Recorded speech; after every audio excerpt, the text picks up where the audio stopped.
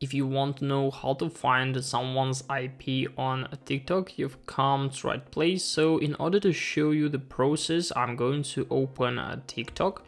And if you'll open our profile in the right bottom corner, we'll come to this page where we can find all the guys we're following, for example.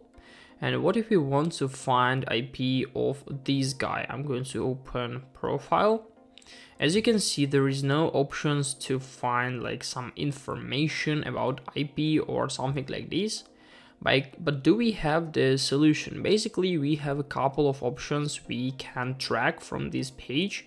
We can find Instagram page, we can find uh, official website, we can also find like email if it's necessary. As you can see, if they like uh, let us find it we can also click on message to send the direct messages. But as you can see, there is no like option to find someone's IP. So you need to know that TikTok provides us a high level of uh, privacy. So nobody will be able to find our IP and in our case, we won't be able to find uh, someone's else IP. Unfortunately, there is no ways of how to do it through TikTok. Hope this video helped you out. Leave a like, subscribe. Goodbye.